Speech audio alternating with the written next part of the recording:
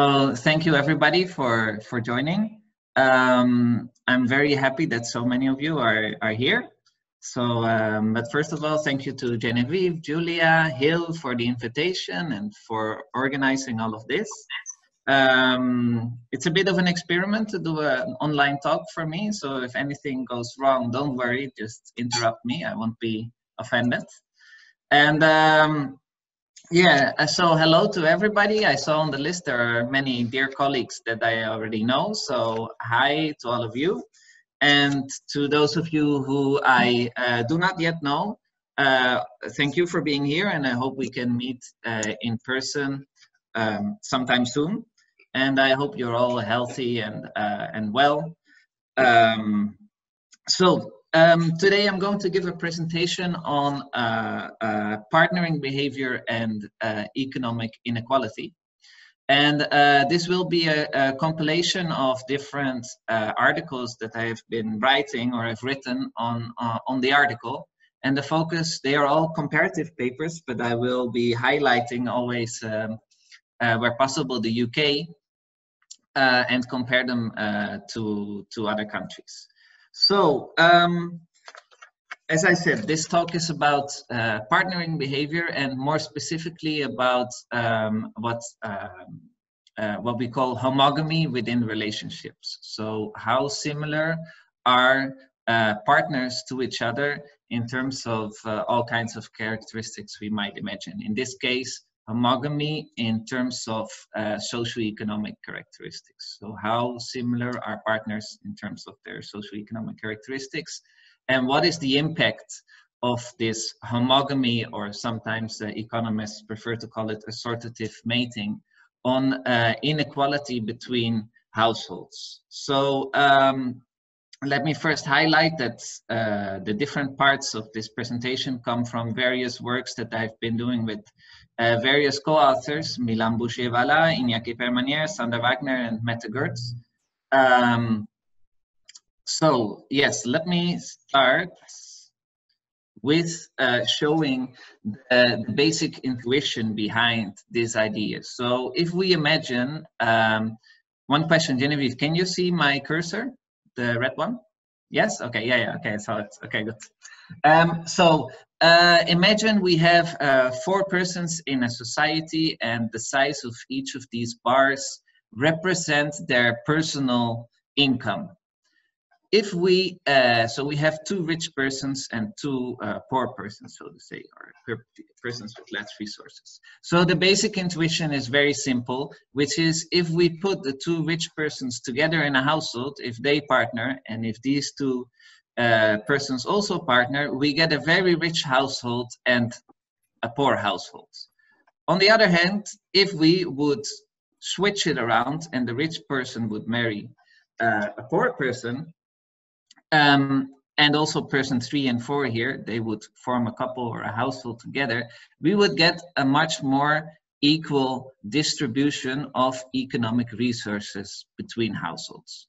Of course, there is always a question of inequality within households. So how are resources shared within households? But we're not going to, I'm not going to um, go into that topic uh, today.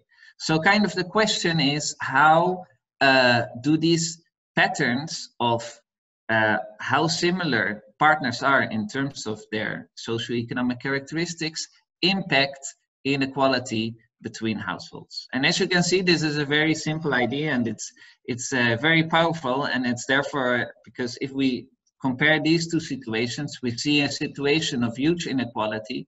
And here, by just changing the partnering, all inequality is eradicated.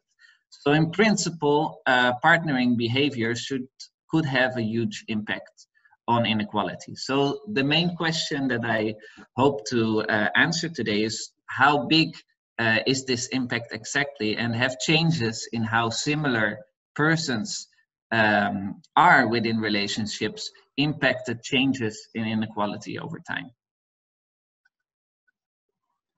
So the general belief, uh, I think, is that this has had quite a considerable impact on inequality between households. This is, for instance, uh, an article from the, the Upshot in the New York Times talking about how uh, power couples reinforce income inequality. And there are many articles that can be found about this, arguing that this increasing similarity uh, between partners is a major driver between uh, a major driver of um, inequality between households.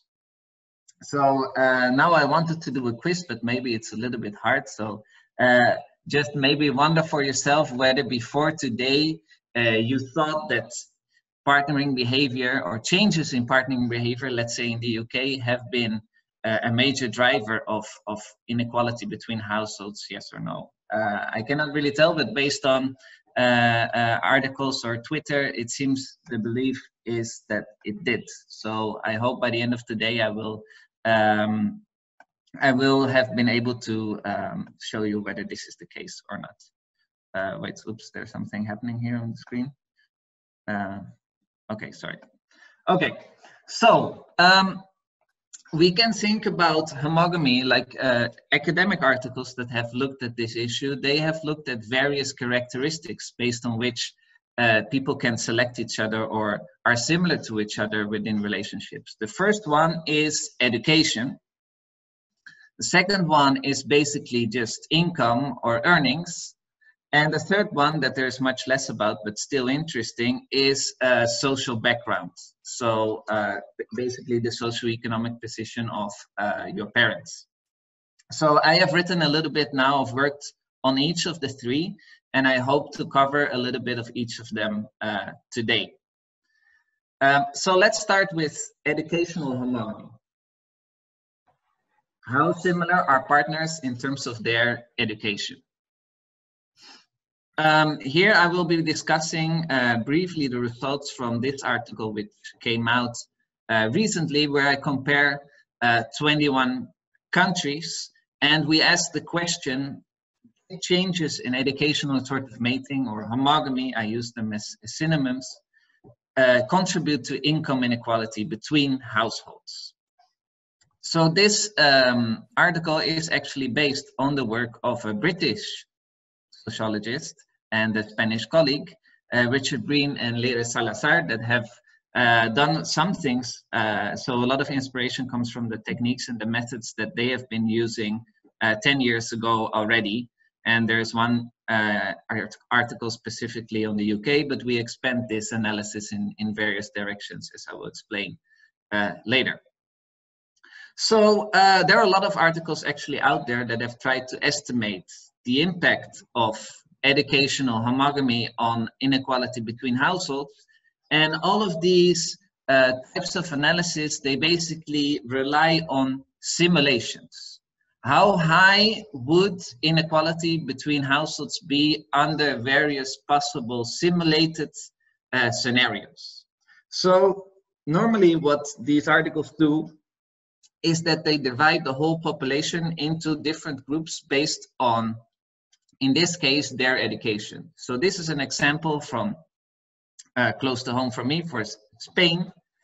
And uh, we see that this is basically a table, a cross tab of his education and her education. So what we see in this table is the distribution of households in Spain um, across combinations of the head of household and her or his partner. So there are 19.2% of the Spanish population in 2013 consisted of a head of household uh, with lower education and a partner with lower education too. So what a lot of these studies do is to shuffle kind of these distributions around and say, what if there would be much more homogamy? So what if everybody would be on this diagonal where everybody where partners have the same level of education? Or what if there would be much less homogamy and they would recalculate levels of inequality? So this is basically the intuition between, behind the methods that have been used in uh, in these kind of articles. So keep that in mind that these are all uh, simulations which have a lot of other uh, problems and uh, limitations but they can give us a nice idea of uh, how big impacts could be of changes in homogamy. So um, here we see a lot of formulas and you don't exactly have to understand uh, what is written here.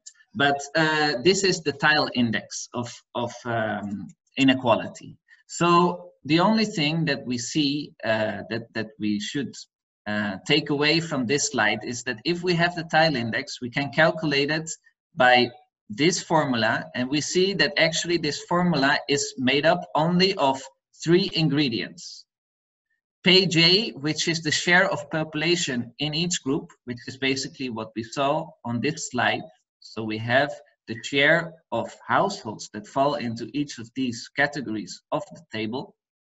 And we have the average household income of these groups, which is, for instance, what we see here in Spain, the average household income.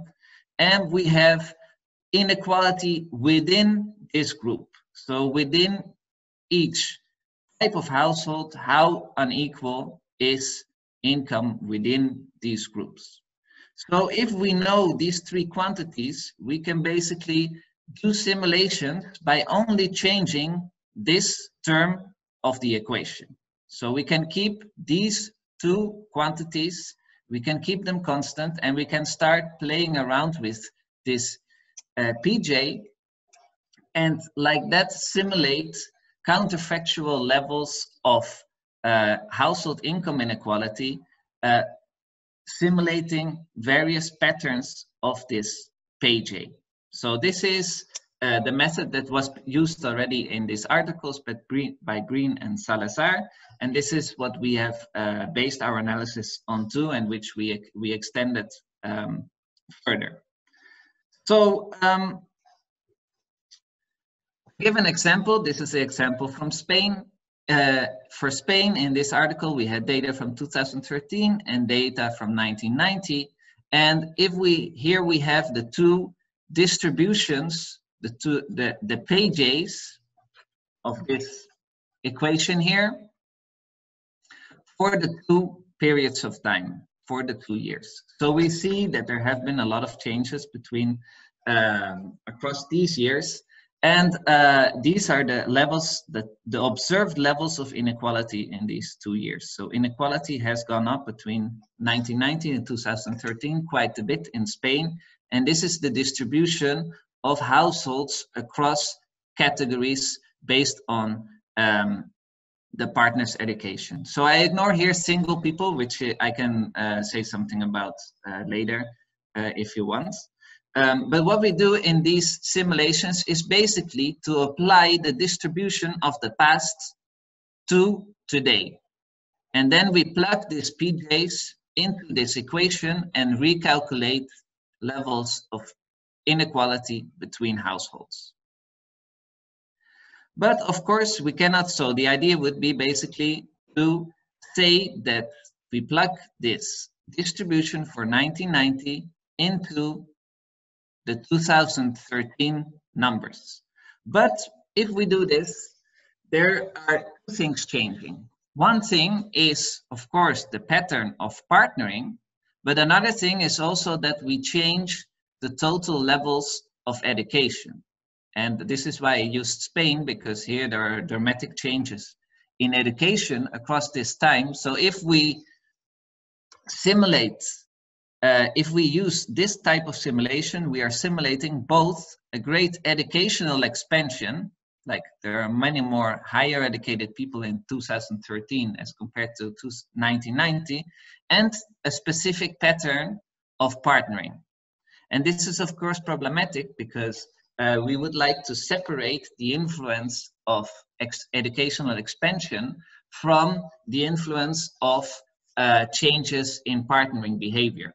So uh, Breen and Salazar, they kind of developed a complicated um, iterative uh, procedure that somehow uh, maintains the marginal distributions, but changes the specific partnering patterns. So this is quite complicated to explain how they exactly did it, but it's basically um, an iterative process where in the end, uh, you hold these constant, but the relative uh, cell sizes, they are being changed to how this used to be in 1990. So this is basically the intuition behind this simulation is we control, we keep constant the marginal distribution. So these are still as in 2013, but we apply assortative mating patterns or homogamy patterns as observed in 1990. And then we calculate um, inequality plugging this PJs that we just calculated or simulated into this equation. So what we can already see here for Spain is that we have here a simulated Theil index and we see that in Spain, um, actually homogamy in the past was higher than it is today. We see the green numbers, they are the ones that increased uh, over time.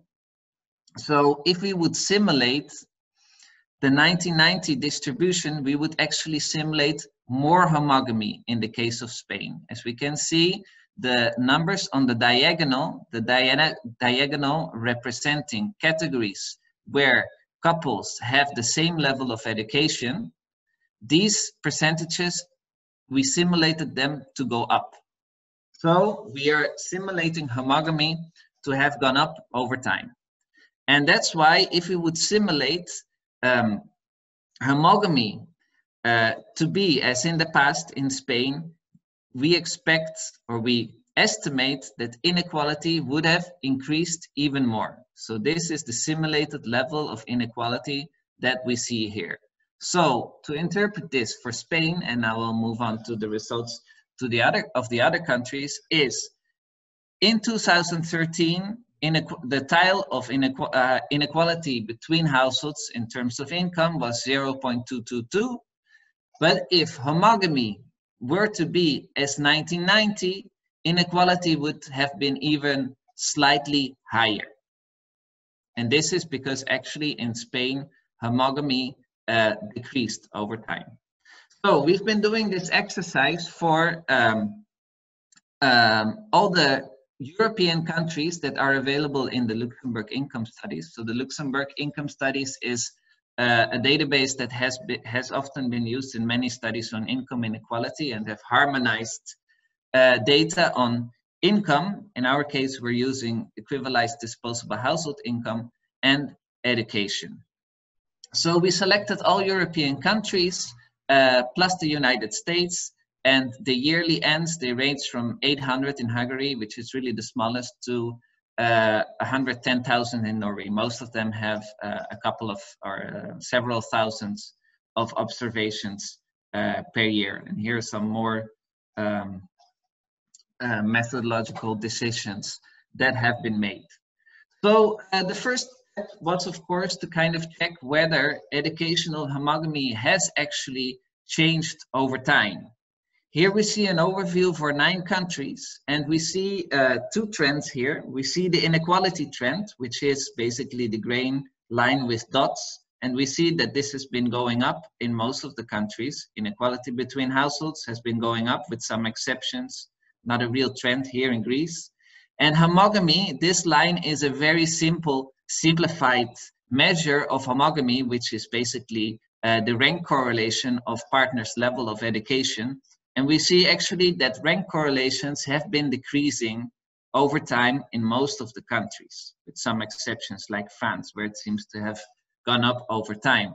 So what this would suggest is that actually educational homogamy has been going down. Partners, uh, education plays a decreasingly important role in, in partnering, which is interesting. So this has actually also recently been confirmed in an article by De Hauw and colleagues uh, uh, with using more complicated log linear methods that actually it seems that educational homogamy, how similar partners are in terms of education is uh, going down.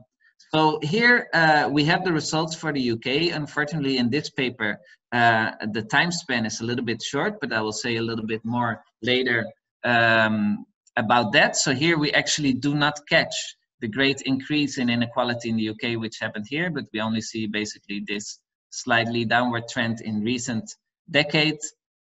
And we see also that there's no real trend in terms of homogamy, but I will say a little bit more uh, about what we can tell about this period here uh, in a bit.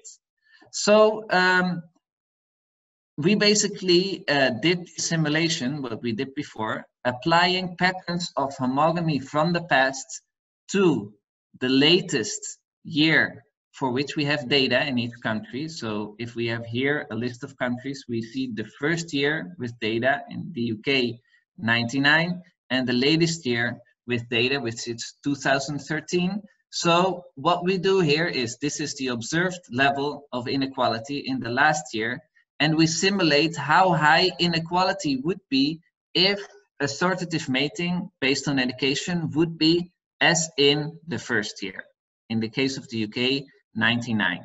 And we see in the UK that it basically doesn't have any impact at all. And this is actually the median of across countries is very small. And if you see, there are only a couple of countries like the Netherlands, Greece, and France, where we see a little bit of a bigger influence. I can talk more about that later, but uh, the general conclusion is really that changes in educational homogamy over time uh, practically did not um, have a huge impact on, um, on inequality between households. Now you can of course say, especially for the UK, okay, you're looking here at a very short period of time. These are just uh, 14 years. So uh, maybe by missing the big changes of the 70s and the 80s, you're missing a, a big part of the story. Um, therefore, we performed some more simulations. So here, first of all, we see the result that I uh, showed before. And uh, we decided to extend this analysis and do some more simulations. So we started to play around a little bit more uh, with alternative distributions of households across this table. So instead of simulating patterns from the past, we decided to simulate very extreme changes in homogamy. So this would kind of answer the question of, okay, we see that um, changes in homogamy have mattered very little. But another question that is interesting to ask is, do they have the potential to impact inequality between households? So would really extreme changes in educational homogamy, would they have an impact? Actually, the question for the UK is no. So we did some um, simulations where we would match people at random based on their education and estimated levels of inequality would change very little. In another simulation, we maximized homogamy. So we maximized basically the diagonal. We put as many persons as possible in the cases here on the diagonal. So in the case of high high couples where both have higher education, we would put here 38.4 um, we would always maximize uh, the number of homogamous couples and then fill out the table. This is also something that Breen and Salazar have done for uh, the US. So if we do this for the UK and we actually maximize homogamy, or we say that partners' educations are not related at all, or we even simulate that there would be inverse homogamy, so that um, so that partners would negatively select each other based on education. So higher educated people would actually partner as much as possible with lower educated people. Even in this extreme scenario, um, inequality would only go down with, I think, is seven, eight percent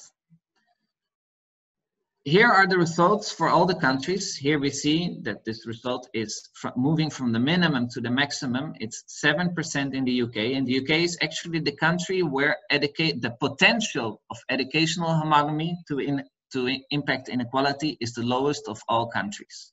So there are some countries where the impact is greater. And you might ask, why is the impact so great in, for instance, France and Greece?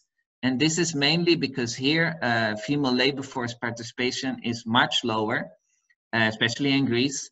And uh, education is very positively related with female labor force participation. So this is why when we start switching around, uh, um, simulating changes in educational homogamy, there's much more impact there. But remember that this would require, even uh, in Greece, this would require a complete switch from uh, inverse homogamy to maximum homogamy to get such a big impact. So to resume, do what is the potential impact or have, have changes in educational homogamy contributed to inequality between households? No. The overwhelming conclusion, and this also comes out of uh, earlier and later articles, is changes in educational homogamy did not have uh, a huge impact on economic inequality between households. There is a potential for very extreme changes in educational homogamy to, income, to impact income inequality in some countries, but uh, such changes are so extreme that we're unlikely uh, to see them occur in uh, real life. So why is this the case? Well, basically, most of inequality actually happens within educational groups. Of course, there are big differences in terms of um, average levels of income according to couples' levels of education, but by far, I think it's around 70% of all uh, variation in income happens within educational groups. So this limits a lot the potential impact that educational homogamy, selecting partners based on education, is quite limited. So the implication of this finding would be that if we think, we might think, well, to really attack inequality between households, we have to uh, lower the boundaries that exist across educational categories. Um, but at least for income inequality, this might be important for a lot, all, lot of other things uh, that we care about. But for income inequality between households is probably not going to do uh, that much. And we have to look at the sources of why within educational groups there are so many uh, differences in terms of income. Of course, you might wonder, well, okay, for the UK, you you have been using these three ISCED categories. Uh, we simulated it also using more detailed educational categories. I think in the case of the UK, it was no qualification at all, GCSE, A-levels, bachelor degree, and master degree. And basically, I think total potential impact only rose from um, 7 to 8%. So that didn't make a big difference. One thing that we haven't been able to look at and which would be interesting is, of course, uh, private schools and elite universities, but that would really require uh, a country specific study. Okay, so this is uh, educational homogamy. I will then go to the second part, the third part on social background. We're not going to have time for that, uh, I see already now. So um, this is ongoing work with uh, Milan Bouchet-Valat.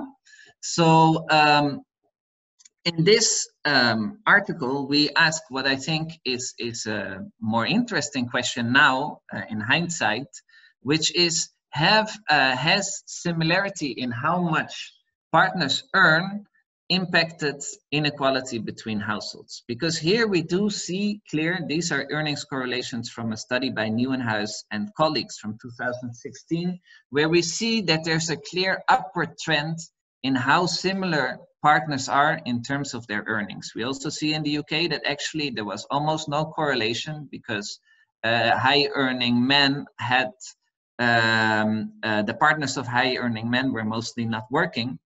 Um, but we see that almost in all countries, these correlations have been increasing over time. So partners are increasingly similar in terms of their earnings. What has the potential impact been on economic inequality between households of these trends? Actually, the answer to that question is really complicated. Even if we look at existing studies, they come to uh, apparently contradictory conclusions. So here we see two examples of studies on the United States. There's the one by Schwartz that says uh, that increases in earnings inequality would have been 25 to 30% lower than observed in the absence of changes in the earnings association. And Hryshko actually using the same, and colleagues using the same data say that only two out of the 69% rise in income inequality can be attributed to the combined effects of matching and coordinated labor supply. So even if we look at um, studies from on the same countries using the same data, they come to very different uh, conclusions, which is of course very confusing. So what is the answer? Um, first of all, I want to like, take a, a, short break just to show a major source of uh, confusion and unnecessary confusion has actually been uh, this study by uh, most economists will think that assortative mating had a huge impact because of this study. Marry Your Like by Greenwood and colleagues, and they actually reported that the Gini coefficient would have fallen from the observed 0.43 to 0.34 if uh, matching had been random. They also have estimates of changes over time. So basically in this study, they reported a huge impact of changes in earnings similarity on income inequality. It's cited a lot. This screenshot is a bit old now. It's already 300 something citations, but actually this was all based on a coding error. So they actually had to correct the results and this you can find this um, online, but it's a bit hard to find. So if you need it, just send me an email. And actually here we can see, for instance, this huge reduction that they document here from 0.43 to 30, 0.34. And this uh, correction is 0.43 to 0.42.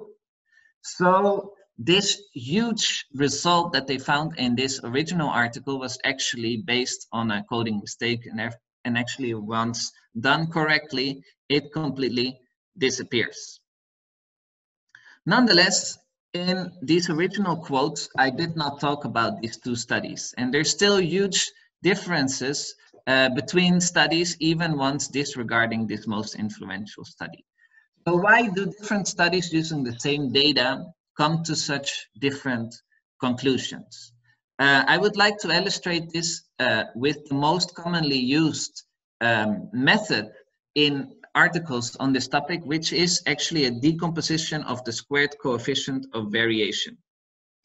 What we see here is an estimate of the coefficient of variation in household in income, which we can regard as a measure of income inequality between households. And what many studies have done is express it as follows. The coefficient of variation in household income is composed of inequality in women's income, the coefficient of variation in women's income multiplied by the share of women's income.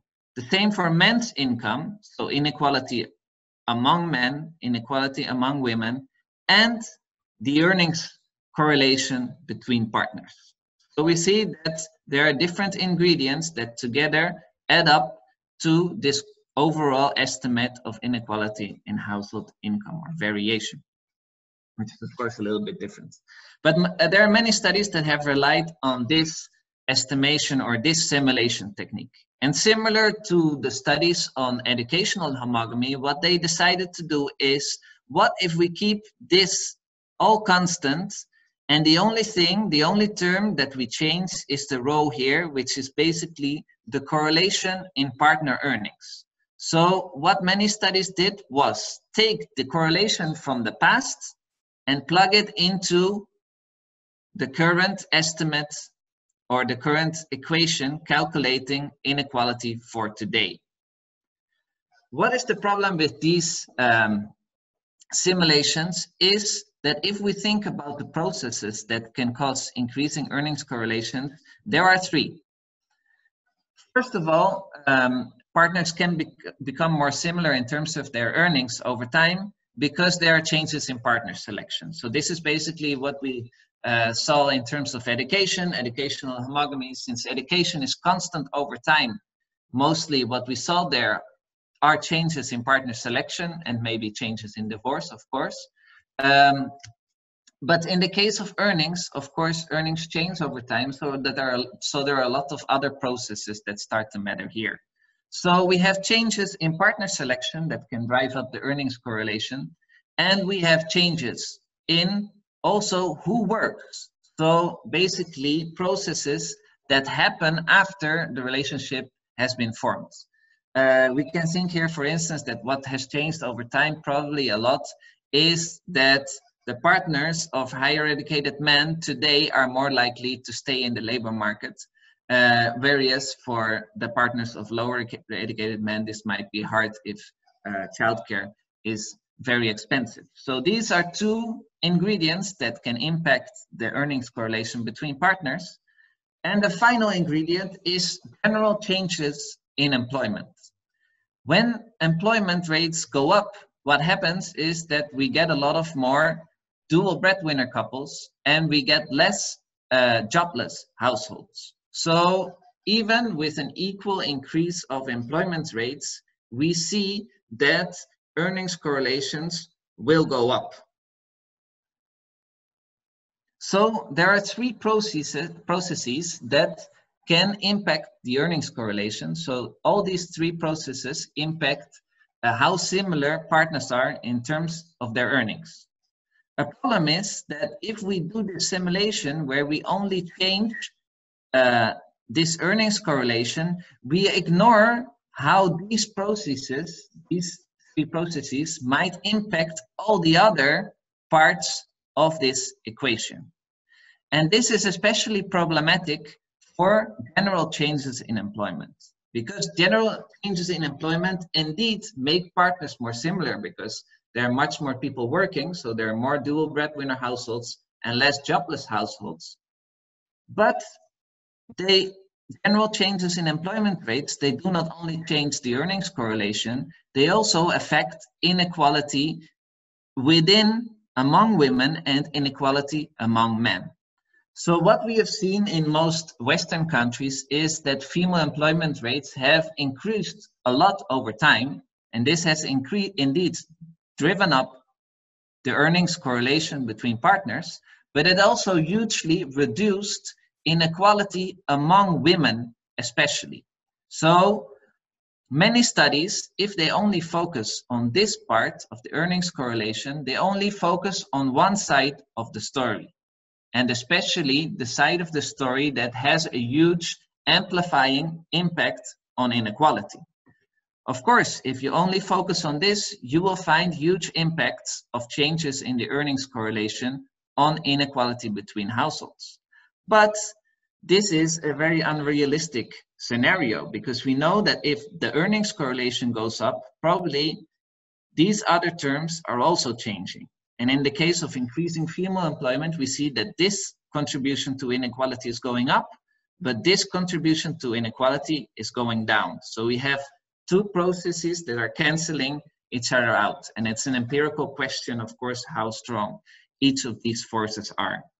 So what we exactly did in this paper was to kind of estimate the influence of these different types of processes. So instead of simply simulating a different earnings correlation, we would kind of uh, simulate um, the influence of these processes. And we can divide them into the inequality amplifying parts and the ones that are more hard to estimate uh, or the, their impact on inequality is harder to estimate in the case of general changes in employment.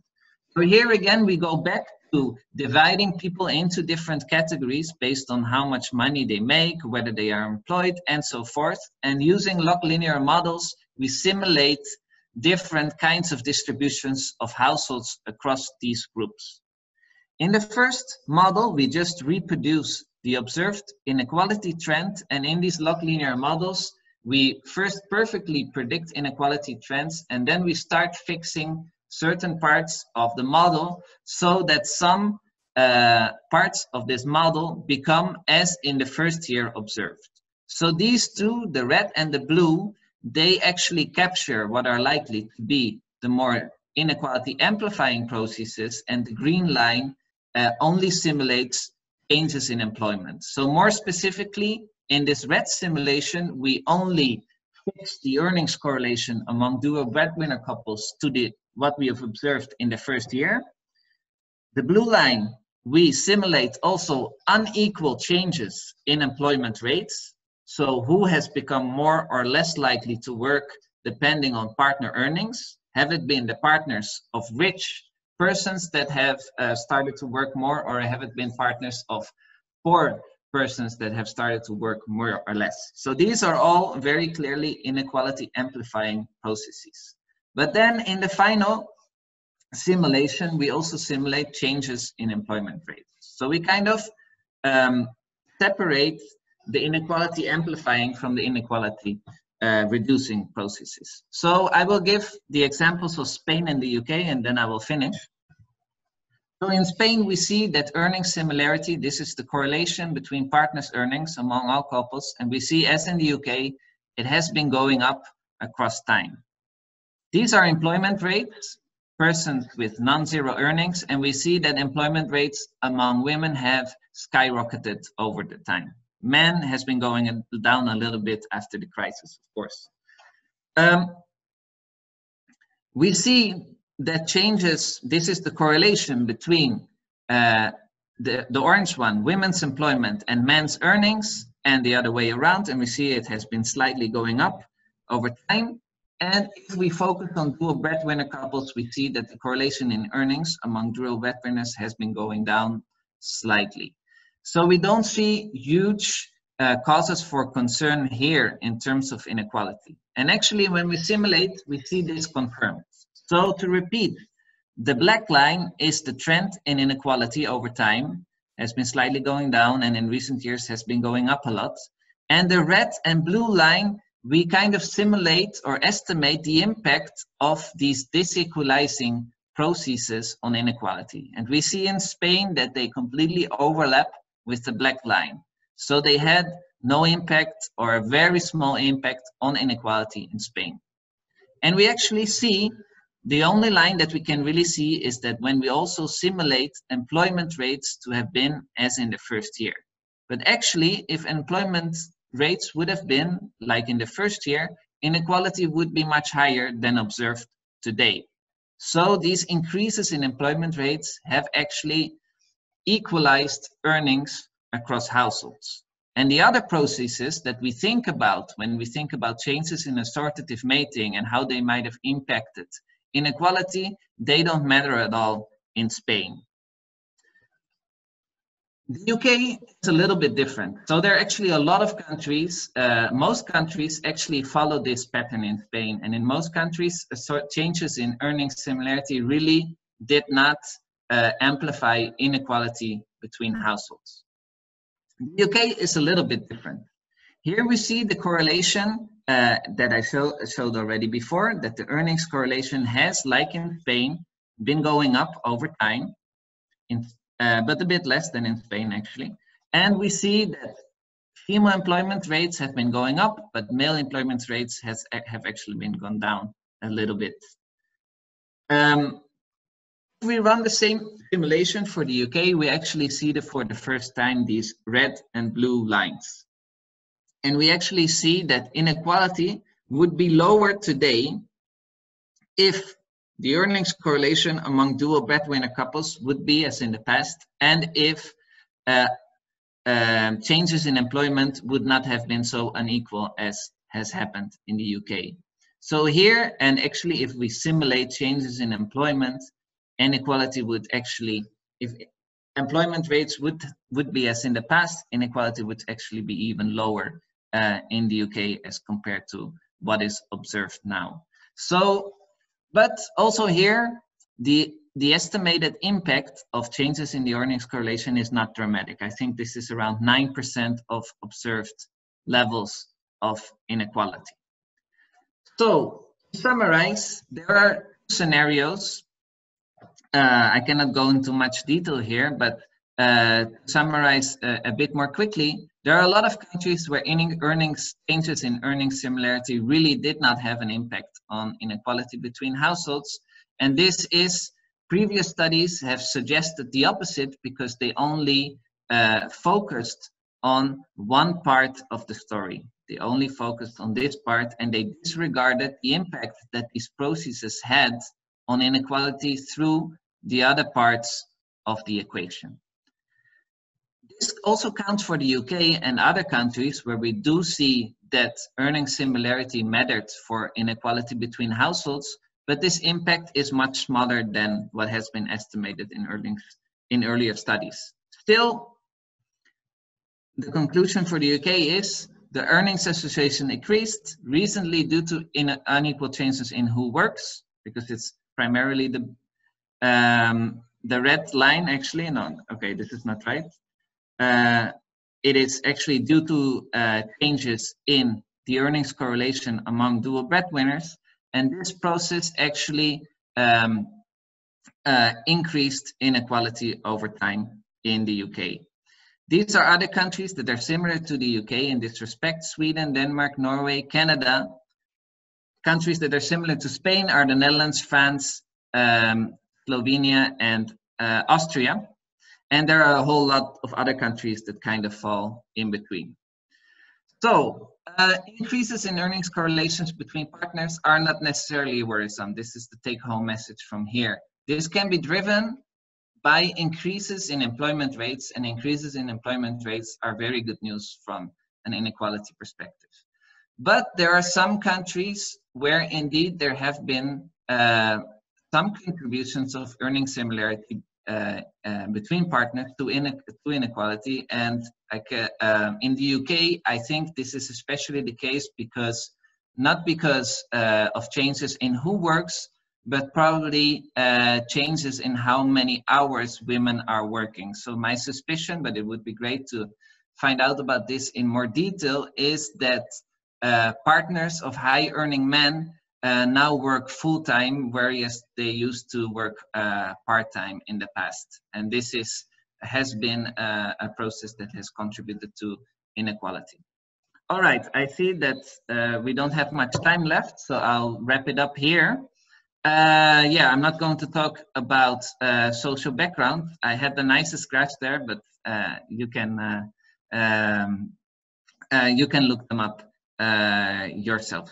Okay, let me just finish here so we have time for some questions. Uh, thank you very much. You have been very silent. so I've been able to do my presentation. Thanks. But now I would like to hear um, what you think. Thanks. Okay, thank you.